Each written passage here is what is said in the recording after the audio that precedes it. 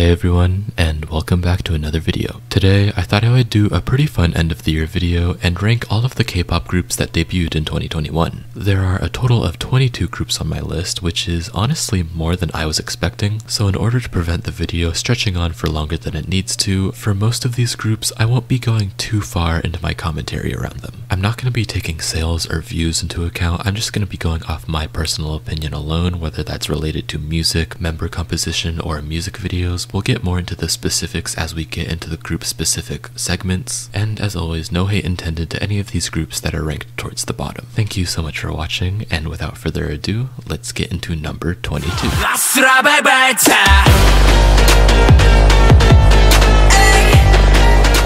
Despite having four releases this year, including their debut single album, two comeback single albums, and a digital single at the end of the year, sadly, I only like one song out of all of the ones they released, which is Exit. It seems like their company is very much so focused on quantity over quality, and I think it would have been better if they just made one good debut mini album and maybe a single album at the end of the year.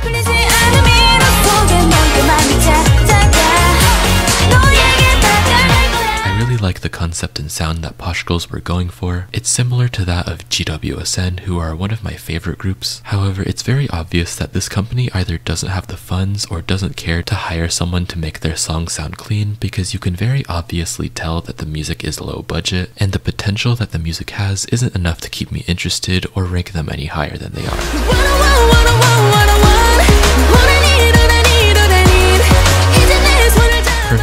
Major suffers from a similar case to that of Posh Girls. However, I rank them one spot higher because it seems like there is a little bit of production value in certain parts of their music, and they're able to make certain parts of their music sound really good and they get stuck in your head really easily. And their music videos are pretty aesthetically pleasing too, even if they are just glorified dance practices. Specifically in their song Rain on Me, there are a lot of aquatic sounds in the music, and to match that, the music video is very based around blue colors and even has a set that looks like the ocean floor, which I thought was really cool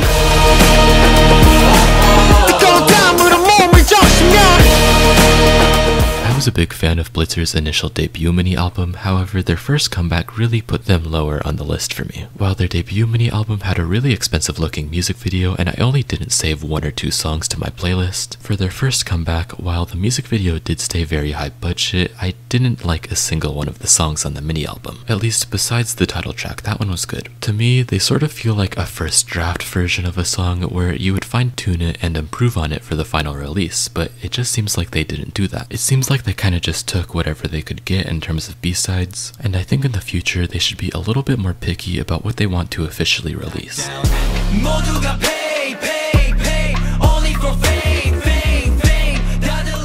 necessarily have any problems with EPEX's music. In my opinion though, it's just very lackluster. Songs like Do For Me and most of their B-sides seem to lack any form of drive or motivation behind them, and they don't really have any memorable songs unless they're really memorably bad. And the song that I'm talking about here is Lockdown. While it was very memorable to me, it wasn't at all in a good way, which is pretty disappointing because the song was honestly really good up until the chorus, which kind of ruined it. The members do seem to show a lot of talent, which gives them a few points in my book. However, I just think they need some better composers because the music they've been getting is not doing their talents justice.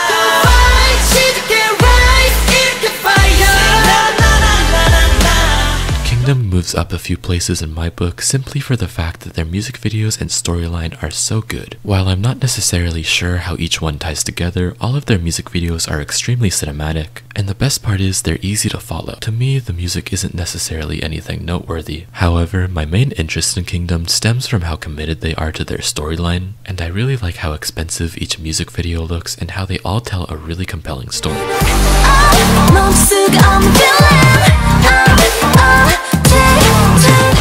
PIXY would be a lot higher on this list if their discography only consisted of their B-sides. Sadly though, for their title tracks, they seem to be going for this watered down girl crush rock concept, similar to that of Dreamcatcher but not necessarily as well executed, and it sucks because most of their B-sides are so so good, taking on musical concepts that haven't really been seen from girl groups especially in the fourth generation and doing them really well. If their discography consisted of only their B-sides, they would have one of the best discographies in fourth gen. Sadly though, That's not the case. What is kind of compelling about this group though is that they always interact with their fans on Twitter. One instance in particular comes to mind where a fan sent a picture of them doing half of a heart with their hand, and one of the members literally sent a picture back with them completing the heart, which I thought was super cute. So if you're looking to actually interact with some K-pop idols online, definitely check out their Twitter.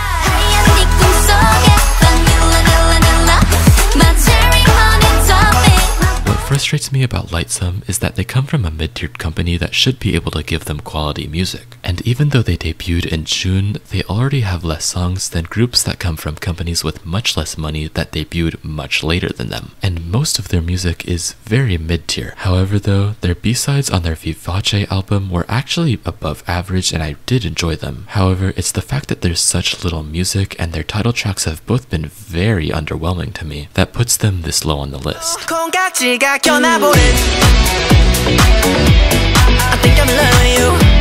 Despite having one of my absolute least favorite debuts of all time, CIIPHER were really able to redeem themselves with their first comeback. While not necessarily being anything groundbreaking, Blind is 100% a really solid, good track. Combined with them having overall good B-sides on their debut mini-album and their first comeback, the only two problems I have with CIIPHER is the song that they debuted with, and the fact that Rain, who owns the company that they're under, continues to insert himself into every single thing that CIIPHER does, branding them as Rain's boy group and even going as far as to go with them to variety shows. Rain needs to distance himself from the public image of CIIPHER so that they can build a fandom that is separate from his own.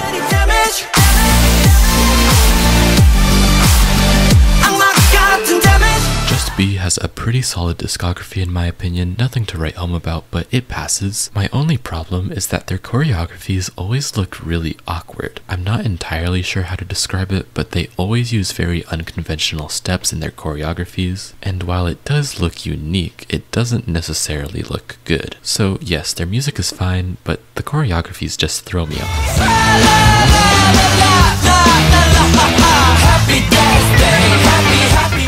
Definitely like Extraordinary Heroes. Is that how you pronounce it? I'm just gonna go with that for now. However, they just debuted, they only have one song, and I'm very like in the middle about it, so I thought it would be fair to put them directly in the middle. I do really like the members, especially Juyeon, he's very much so caught my eye, but I can't really say much about them because they only have one song and I'm just on the fence about it. I like their concept definitely, but there's just not enough music to see if it's gonna go anywhere.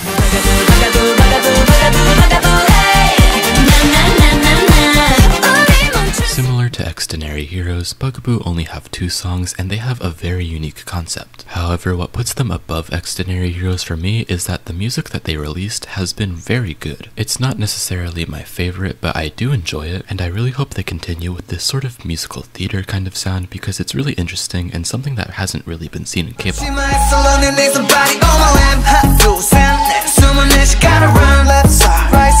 Initially, Luminous were much lower on this list, but upon re-listening to their most recent mini-album, I remembered how much I actually liked it and decided to put them at number 9. Specifically regarding their title track Run, it has a very laid-back and sleek sound while sounding very much so inspired by the 80s, and the inclusion of the 30-second instrumental dance break is really interesting and something that I don't see much in K-pop. Just an overall very underrated group with some pretty good songs that I highly recommend checking out. Gotcha.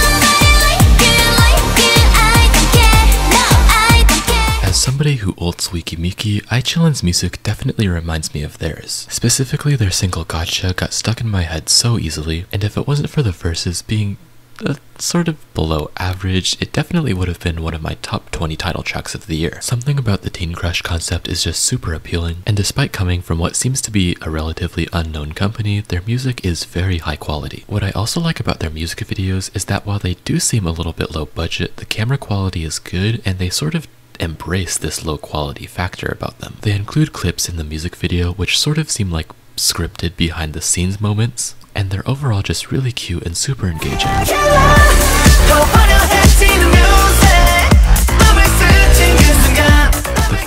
Futuristic sound is something that I've only really seen ONF do in the past, and I'm really glad MIRAE are following in their footsteps, having so many songs that make you just want to get up and dance. Where MIRAE really excels is how every single thing about them seems very high energy, and it's sort of infectious.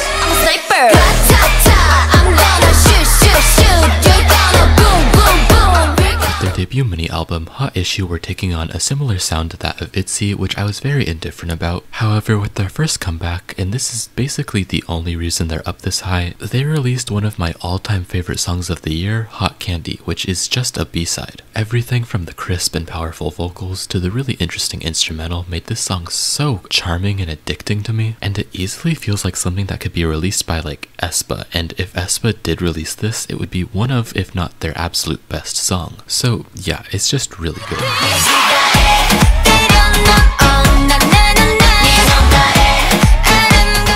all of the groups that debuted this year, I think TRI.BE has the second most unique music. Number one, we'll talk about soon. Every single one of their title tracks was an absolute hit, and they actually just released a song in collaboration with the TV show on Cartoon Network, We Baby Bears, I think it's called, and it's genuinely really, really amazing. No matter what, when I listen to a TRI.BE song, it's gonna get stuck in my head and I will not have any complaints. Every single track in their discography has this really addicting hook to it, and I can find myself looping their music for hours on end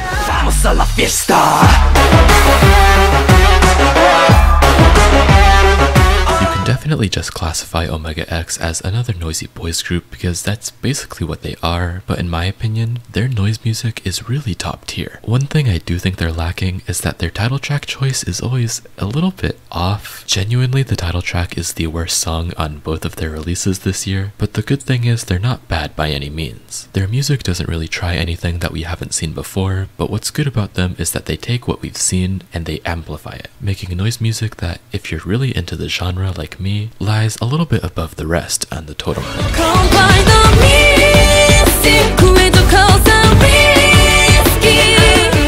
is the group that I was talking about earlier that has the most unique music out of all of the 2021 rookies. Being the definition of experimental, Billlie's discography experiments with song structures and samples that we've never seen before. For example, in their song Ring X Ring, you don't realize that the chorus is about to drop until it hits you in the face. And then they show off their powerful vocals with this chorus that has so much momentum that even though you don't really know what's going on, you can't help but get into it. They've only debuted a little bit ago, but they've already had their first comeback which was so good, and if it wasn't for the sort of boring ballads that they have on their first mini album, they would be in the top two or maybe even first place because Flipping a Coin, which was a B-side on their first mini, is maybe my favorite song of the year.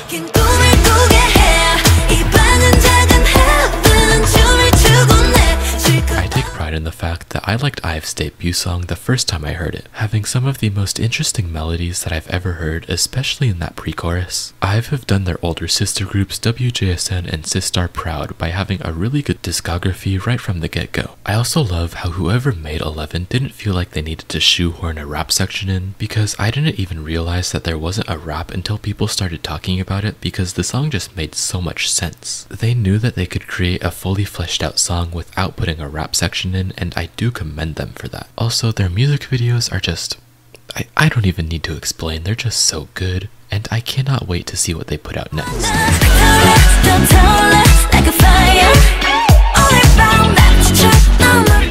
Every single group that I mentioned today, Purple Kiss, in my opinion, has the most consistently good discography. My unpopular opinion is that I actually really loved Ponzona, and my popular opinion is that, just like everyone else, Zombie is one of my favorite songs of the year, and their B-sides are nothing to laugh at either. I genuinely have every single one saved to my playlist. In my opinion, they do not have a single skip yet, and they also have some of the most talented members that I've ever seen. Almost, if not all of the members have credits in the creative process of the music making, and they also have some of the best vocalists in Swan and Goeun. I also don't know how she compares to other idol rappers, but Yuki is one of my favorite 4th gen rappers, and when it comes to music, I feel like I can trust Purple Kiss because they have so much control over what they do. And that concludes this video. Thank you so much for watching, and make sure to let me know what you thought of my choices and how you would rank the 2021 rookies. If you enjoyed the video, please consider liking, sharing, or subscribing, and without further ado,